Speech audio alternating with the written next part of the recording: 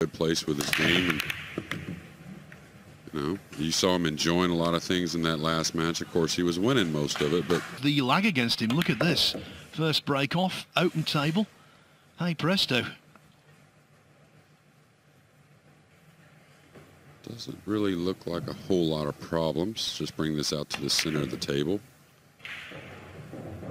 And that's another thing, really. I mean, he's, but most of the time he's had the cue ball on a string.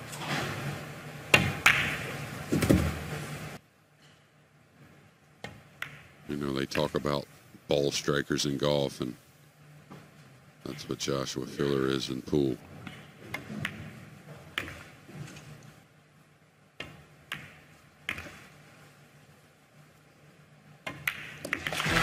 Rapido, speed pool, Joshua Filler. Mario He